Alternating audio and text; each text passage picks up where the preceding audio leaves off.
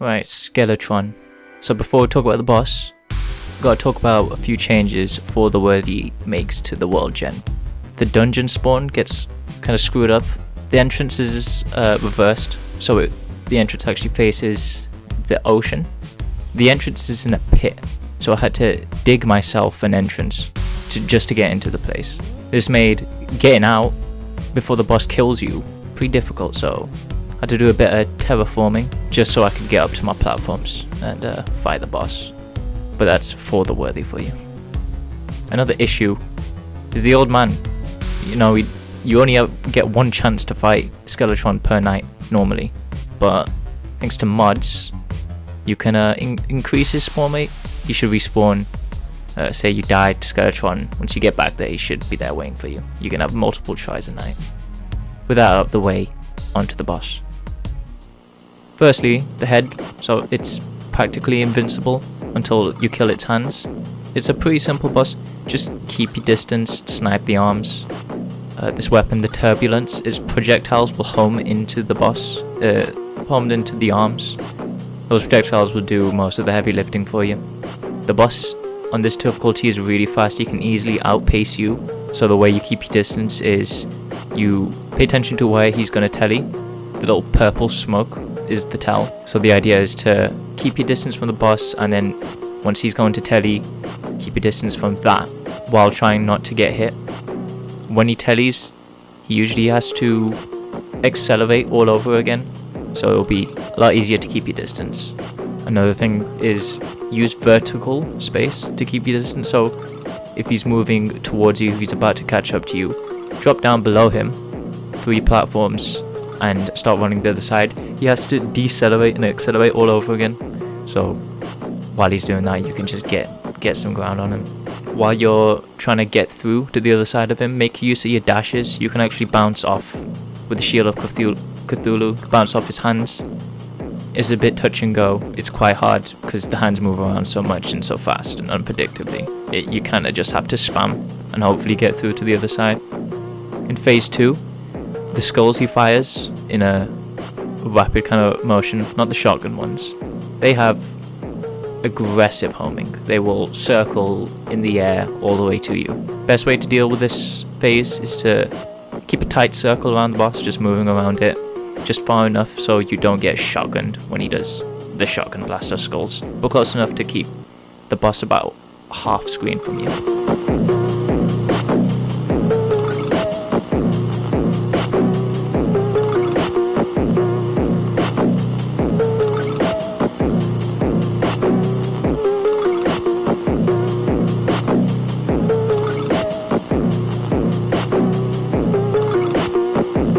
About 50% health, he'll regenerate his set of arms, and you just have to do what you did before, just handle them, keep your distance, and by that time you should be pretty low, you just have to deal with another phase 2 quote unquote.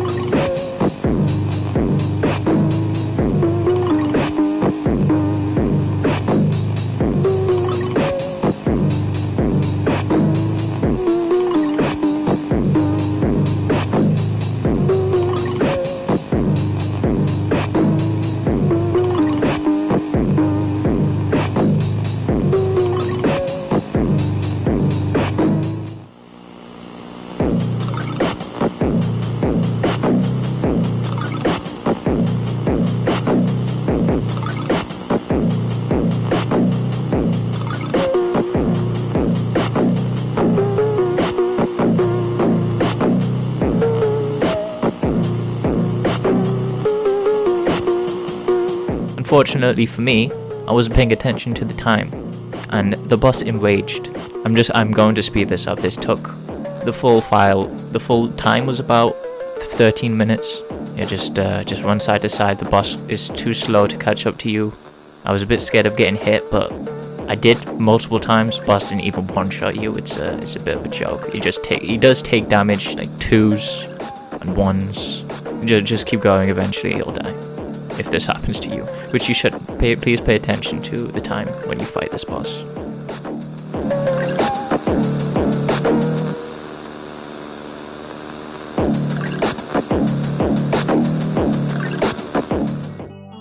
After you kill Skeletron, you get access to the Abyss weapons, which are very good.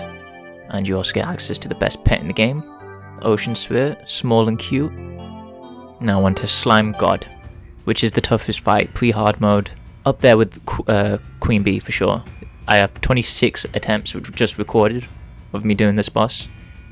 First thing to know is the boss actually takes damage from lava, which I learned accidentally. I just put this lava down here so things wouldn't spawn at the bottom. But yeah, this will come in clutch. It will deal a lot of damage, especially to the, the tiny slimes that end up spawning. A blindfold accessory is really important. I can't remember exactly what inflicts blind uh, darkness on you or whatever the debuff's called, but it's really important. You have a lot of things to keep your eyes on. You have obviously two of the big slimes, and you also have the slime god, the weird invincible projectile that flies around trying to charge into you all the time. And when the boss splits, obviously you've got even more things to look out for. So if you're getting inflicted darkness, you're uh, you're gonna have a bad time. A lot of this boss is just moving away from the boss, so positioning is a bit touch and go.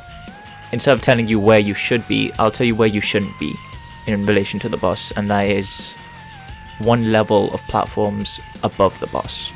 Uh, my platforms are spaced around 30 blocks apart, so yeah, 30 blocks or so above the boss is where you're gonna die because the boss will is really fast. It'll keep bouncing towards you, and it'll bounce up and just hit you. It'll, it's like a ton of damage, and it will. They will do it a lot. It's very, very annoying. 60 blocks above, or just below them, around 30 blocks, uh, will do. Where you want to be is really running along your floor of lava so they take as much damage as possible. A long arena is more important than a tall arena for this reason. A lot of what you're going to be doing is just running side to side and then jumping up or dropping down uh, two levels and you should be able to maintain a, a distance that you can comfortably fight the boss.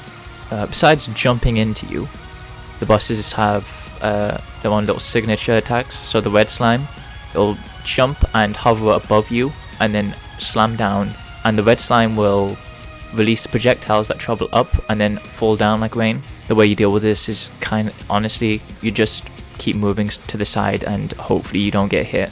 Keep your eyes above uh, at the top of the screen and you should have enough time to move out of the way especially if you dash. It's the more tougher one to uh, not get hit by. The black slime, all you need to do is uh, keep level with the boss as he uh, as he slams down and do a short hop. You should hop over the projectile files directly horizontal, or just drop below them. You'll dodge all of the projectiles. The weapons I used, the spiked monstrosities, spiky ball. It is hard to aim because it has a, a bit of an arc to it, but when it hits, it splits, deals pierce damage. It can hit both the bosses and all the little slimes that end up spawning, and it deals pretty good single target damage. The other weapon is the Enchanted Axe. Throw it, uh, stealth attack throws like a bunch of them out in the start. I think they're home, but they seem to handle the little slimes that spawn uh, quite well. If anything, they'll take out the little slimes that are flying, just clip their wings, and they'll be on the floor. If you want some single target damage, switch to the lionfish that comes from the abyss. You can use it right at the end of the fight to clean up the boss, or just if you need to get one of these little slimes out of the way that's a good weapon to use. Yeah, keep close to your lava floor. Make sure you're running along it as much as possible. The boss will follow you and just take continuous damage from it. The lava will carry you in terms of damage for this fight. Definitely the hardest fight in pre-hard mode. Yeah, this recording looks e looks kind of easy, but it, it was not as easy as I make it look. I struggled a lot on this fight. Next episode we're going to be taking on the Wall of Flesh and getting into hard mode and it was quite the ordeal. But yeah, see ya.